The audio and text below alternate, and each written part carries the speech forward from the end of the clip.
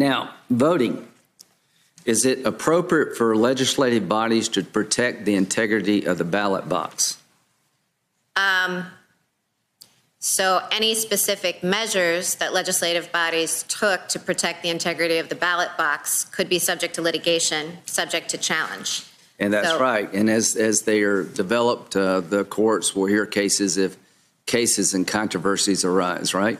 Yes. One of the reasons we don't have an agreement with the House is that in their $2.2 trillion package, they're mandating ballot harvesting as a national policy. I think it's ripe for fraud.